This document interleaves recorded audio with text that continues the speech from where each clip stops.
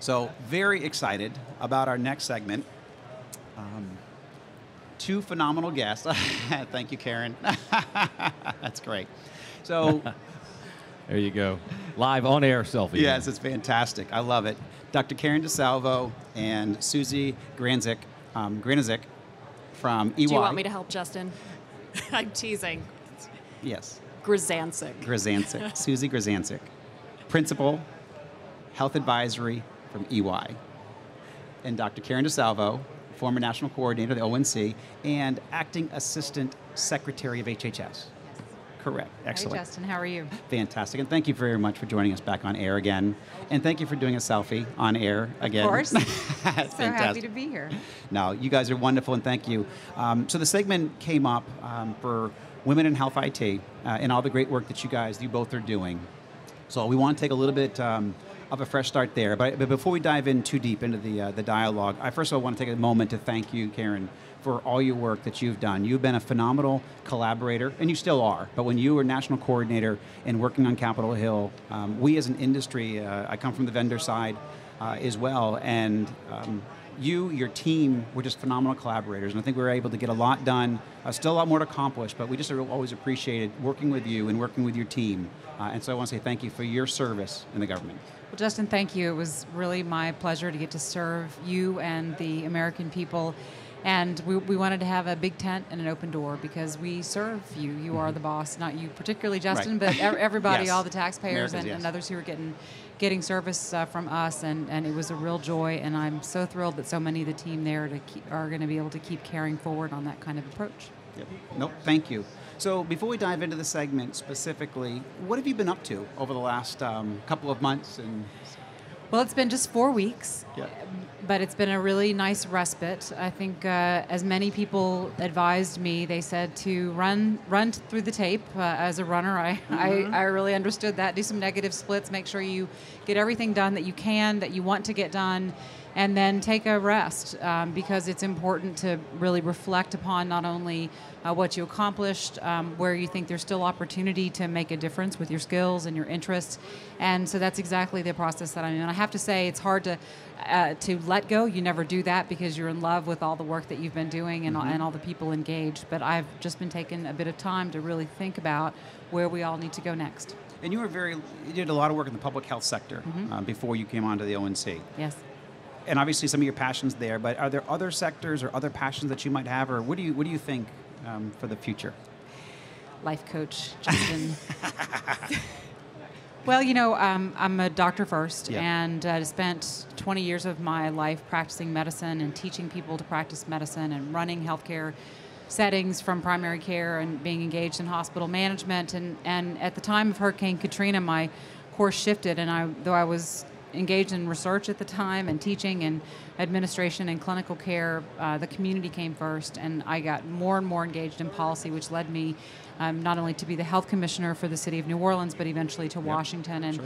where I capped off my time in, in HHS was uh, as assistant secretary for health, uh, as you say, and focused quite a bit on um, on how we can really improve the health of all people, leveraging tools like healthcare, but recognizing that there's more to health than healthcare. That the fact that your geography, your zip code matters more than your genetic code sure. is uh, going to require all of us to really not only leverage data, but leverage the tools and resources we have to, to bring health. You know, this is um, a time in history when we have so much opportunity, but we're even still seeing declines in life expectancy and widening yes. gaps.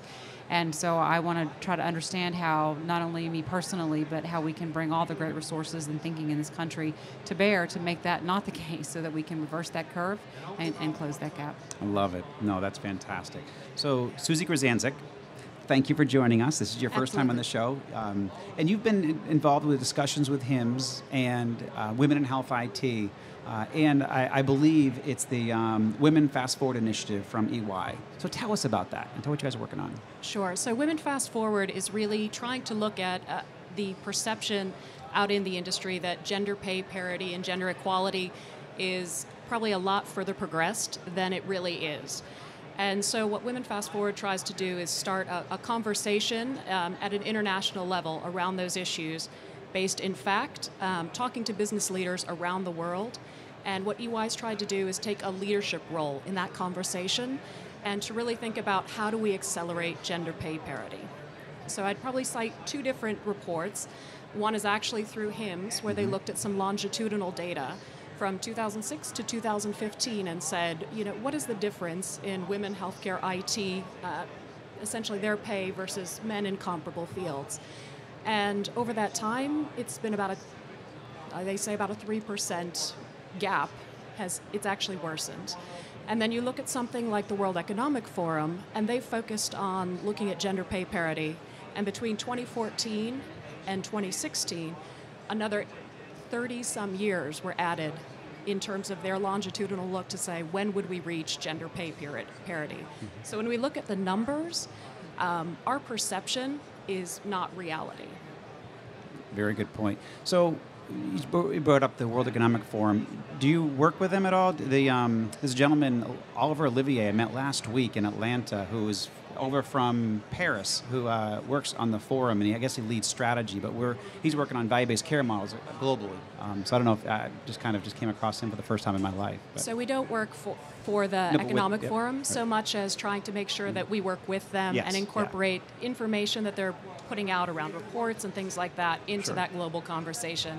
Because the more often that you can make it fact-based and bring it to life, yep. um, and really look at something that's an international uh, body of study, uh, we think that's where you'll see some of the biggest impact and acceptance around numbers. I completely agree. So, what do you see? Are we making progress, or where are we with um, the pay the pay gap and with women in health IT?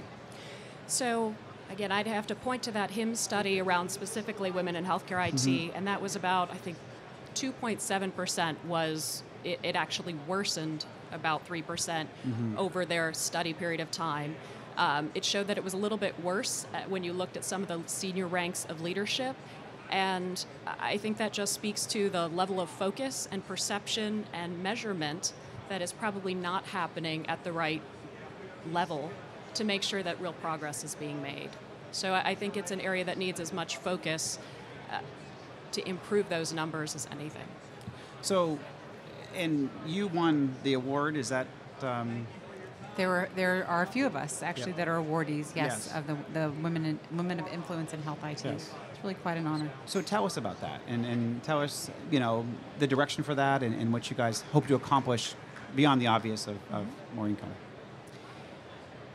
I guess um, I'm going to let Suzi t- uh, say more about the mm-hmm. awards, um, but I, I want to just uh, thank HIMSS and, and thank Carla Smith and others for and the yeah. committee for launching it. It's important that we make sure we're recognizing role models and lifting up um, p- people who are going to be approachable, accessible, and be willing to help mentor the next generation, not just of women in health IT, but men as well. But mm-hmm. I think it's a it's a it's an important and um, valuable opportunity to, to make certain that uh, women know that health IT is a big tent and that we're going to welcome in the best and the brightest and the most eager. Uh, it's one of the things I love about the health IT community is it is welcoming, it's open to innovation and new ideas, and it's important, I believe, uh, that HIMSS has really spotlighted the value that women are bringing to health IT and the need for us to make sure that we're uh, recognizing role models and, and allowing for that pipeline to really build. And when Karen speaks to that concept of recognizing role models, uh, one of the things that we focus a lot on is how do you illuminate the path to leadership? Yes. So I, I think one of the, the pain points for everyone is uh, you have some women doing incredible things within the health IT space, and yet you look at kind of the generation coming up or people interested in those types of careers, and they don't necessarily see a path or see that, you know, arms wide open, the tent is open to come around them and help them also think about the innovations that they can make in IT and the, the steps they can take in their career because we are wrestling with such big, gnarly problems mm-hmm. within healthcare that we need every mind we focused do. on them, and that gender equality is part of it. Uh, the diversity of thinking that you'll see between men and women, um, different cultures all coming together is what's going to start really making progress. I want to layer on top of that, Justin, that, um, you know, it's, it's obvious I was the first female national coordinator and uh, that that um, was uh, simply uh, more than anything, I think, an opportunity for women in the field to to see uh, the chair held by someone who was like them. Um, I, I, I would say also that our, uh, during my time at, at ONC, at the Office of the National Coordinator, I, I was really deliberate about increasing diversity not only on my own team and not just based on, on gender, but on background, race, and ethnicity. And we wanted to do that on our advisory committees as well. I think the one of our responsibilities in the in the federal space was to make sure that we were setting the tone that this has got to be Yeah. a, a big tent and people are going to have opportunity. So, what are some of the best practices there? Because I mean, me, uh, I've been fortunate to have a couple companies and so forth. And, and um, how do you advise us, or how can we get better? Um, and what do we look out for? And, and what can we do? What are some best practices there? So, one of the things we tried to do with NEY was talk to global business leaders, and we talked to men and women, and I think it was about 400 around the world, as well as trying to draw from our own experiences. And we said, what are things that could essentially accelerate or create some quantum leaps around gender diversity and advancing women in a profession? And I think one we just mentioned was really illuminating that path to leadership, um, providing sponsorship, which is really putting your personal weight and brand behind individuals versus mentoring, which is having conversations and coaching, uh, showing that role model uh, where it's possible. So Karen showed it's possible, and it's something that's very valuable to take on. And then also thinking about creating corporate policies that create a foundation to allow for women to be successful as they continue through the ranks and through their leadership roles. And then, really, one of the hardest ones is trying to uh, make sure that you're weeding out unconscious as well as conscious bias. And I can I can give an interesting example Sure, when please. we're ready, but it's just um, it's probably the hardest one to, to fight. Mm-hmm. Unconscious bias, by its very nature, is you just you're not thinking about it, and it's just the way you're reacting to situations. We, we when I was in academics, I was one of the usually the only female in the room, actually, and I was really early um, in in my academic career. But it evolved over time, and it evolved because of deliberate thinking on the part of the entire team, male and female, that we needed to make sure we had a diversity of opinion and we were inclusive in providing opportunities um, for for a pathway to leadership. And and uh, academics in medicine have been uh, increasingly successful in, in that in that sphere. But there's a subtle piece to this which um, is worth just um, pointing out that uh, sometimes sometimes there's there's a need to have um, I'll call it cross gender mentoring. So a mentor as a, as a, as a woman to have a male mentor and mm-hmm. because they're going to have networks that maybe senior people above you didn't true. have. That's And so point. this isn't just about women mentoring or being role models for women. This is about everyone recognizing talent and being Yes. well being willing to foster it and support it and, and, and think about it as again a big tent and an opportunity for the best ideas to come forward. So, a, a couple things that come to mind around that very much that concept of needing men to act in those same sponsorship roles, not just having a, a one on one, woman to woman mentorship or sponsorship. Uh, for example, Steve Howe within our EY team is our America's managing partner, and he's the head of our inclusiveness um, organization as well as his larger role because it's that visible leadership, both with men and women, talking about this that's going to make some change. Um, I can share thinking through some team assignments myself, and it's about opportunities that get presented. So when I talked about unconscious bias, um, young female leader on our team, uh, there was an international opportunity coming up, and one of the unconscious biases might say you have a young family, you probably don't want to travel, and so I or someone else might never put that opportunity in front of you because I've essentially almost made that decision for you, thinking I know Right. best or I know the difficulty of potentially raising a family and traveling.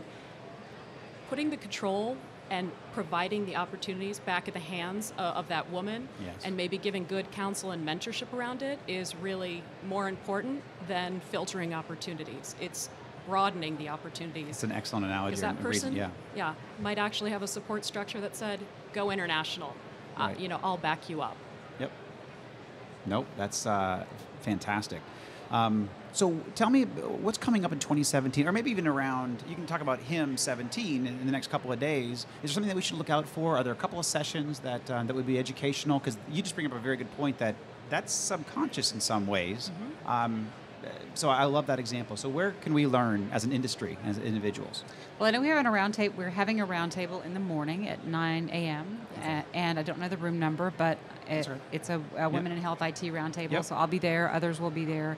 It's a great opportunity, I think, for a more informal dialog Mm-hmm. Um, there is an event this evening where the with the, for the awardees, and um, then of course there's always the HIT Chicks, which are um, always out in force and tweeting, and they have a meetup tomorrow.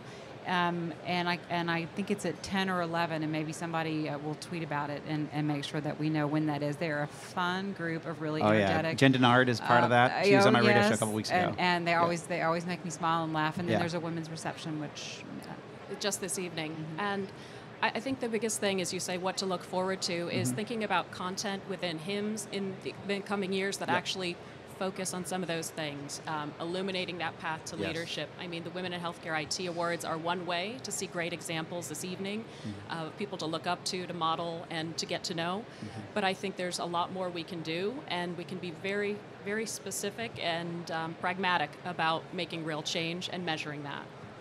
I completely agree. And Denise Hines is, is another just role model for, for all of this as well. She's a very dear friend, and she I'm sure she's involved. I know she's involved in this initiative as well. we have a great team at ONC. Don't forget them. I'm, I'm not with them any longer, you do? but like Yes, you you know, El- Elise Anthony and Lisa Lewis. Uh, there, you know, Rebecca Freeman. There's just Mm-hmm. a lot of really um, other others that I would ask folks to seek out because sometimes they're they're Mm-hmm. uh, in the government, and so you don't always think of that. But by the way, government parity pays uh, pretty nice because they often publish your pay. So it's easy. Good point. Yeah. Um, what about coming up with EY or this year in 2017? Um, are, what initiatives or should we look out for or that we're going to hear about maybe coming in 2017 around this? So I think you're going to continue to see that concept of women fast forward out in the market. Um, there's definitely uh, things that have been spoken about at Davos, panels that were Yes. there, um, a lot of global forums uh, at International Women's Day coming up in about two or three weeks here. Uh, that will be kind of being bold and taking on that challenge around gender pay and diversity is coming up. And I think you're just going to continue to see corporate and social policy and just really a focus in the market and telling those stories about women IT leaders and, and just women, inspirational women's leadership stories and how to build those networks and those formal programs that can actually lead to women in leadership roles. No, that's so. Carrying that theme and, and kind of our closing here, what um what advice would you offer um, women in health IT and in our sector, and what best practices might you point out to them? So I think the first thing I would say is to keep such a, a broad mind to what types of opportunities can come up. And I think about the women I've worked with both on our payer and provider sides who um, might have been a, a nurse, a nurse practitioner, um, and suddenly start to see that they're loving data and analytics. And they start to then bridge across once opportunities and sponsorship are there to say, all right, you know what, I can be a, an informatics leader because I know the business, I I know how to put patients at the center of, of care. And now I can also start to bring and wrap around things like the data analytics and, and innovative ways um, to refocus the industry. So I, I think it's that, that concept of that broad mindset, coaching people about their opportunities, and then really um, measuring whether there's true progress being made and, and keeping that going. Because the problem is you stop and then you think you've made progress and you haven't. Well, I think uh, I, I think there's an intentionality around management and leadership that people must take into account, no, no matter who they are, and, and really be thoughtful about whether you've got um, the kind of diversity of thought on your team, not just diversity of gender. Uh, I want to uh, make not get out of here without making the point that as we're thinking about diversity, we need to think uh, along many lines, including race and eth- ethnicity. yes, it's an important sure. area of work that we need to do in health IT. And I would just make a plug for the broader pipeline, the importance of reaching even more deeply into high schools, junior high, and really encouraging young women to feel comfortable or continue to feel comfortable with math, which STEM with, and so- with yeah. STEM Yes. careers, because sure. we want to make sure that we're letting them know that they have value, that they're valuable, and that they're completely capable of doing it. So There's true. such cool programs, whether it's Girls Who Code, um, Mm-hmm. the different conferences and forums, but I think it's um, knowing about those, creating the opportunity, and really having parents, teachers, educators, and people within the payer and provider practice going out into the schools and educating them to this is what it's like to develop a product that could suddenly be a wearable for a patient. And how does it feel knowing that your grandmother or your mother or your father are actually using those things um, and you could create the next generation of that? Excellent point. No, Jen Dennard on a radio show a couple weeks ago talked about Girls Who Code and that initiative. So that's fantastic. And you brought up a neat point because I just did this and I'm, I'm going to see her in a few minutes. But um, I just hired a nurse um, to lead my clinical strategy for one of my companies. And she, she's amazing in her own right, but having such a, that clinical background, and then she's also, she knows pop health, she knows analytics, she knows quality reporting. Um, and so she's going to be an amazing leader um, in that, and I'm certainly going to help and, and support. You've already that. written her performance review. She's going to be like, "I'm going to phone in this year." But There's you know, a lot of work to do. And and nursing has an advantage on on the physician training community because they've been engaged in nursing informatics. So she Right. right, it's it just becomes a natural part of what they're learning as part of their curricula, which is so exciting. And we need more of these people every day in healthcare, and Yes, that need is only growing as well. Especially as we're doing more care coordination, So right, and more more reaches across, you know, across other disciplines. As physicians, we just aren't trained as well in that, and nurses definitely are. So I think there's And great of the- opportunity. One of the True. points I love about that is repurposing your career. That I mean, I think that's just a key thing as well. Is that you don't necessarily have to grow into a technology career as your high school on up uh, goal. It often is a position you take as you start to advance your career and see possibilities. Very true. Ladies, fantastic conversation. Thank you so much. Suzi Grazanik, Dr. Karen DeSalvo, thank you for joining the show today. Thank you, Justin. You guys are terrific. Enjoy HIMSS. thank you. You as well. Take care.